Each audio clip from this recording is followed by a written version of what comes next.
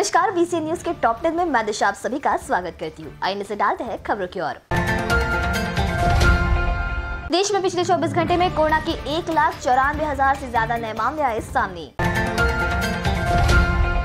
देश में उड़ा कोरोना का कहर, कल से 15 प्रतिशत ज़्यादा मामले दर्ज।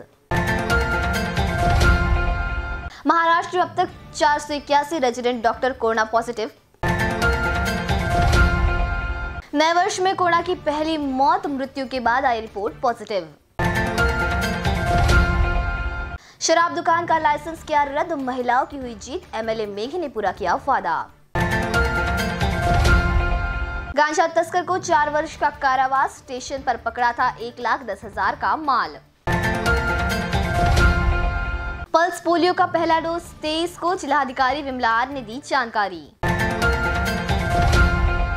बर्डी मेट्रो स्टेशन के नीचे कार्रवाई अतिक्रमणकारियों ने मचाया अफरा तफरी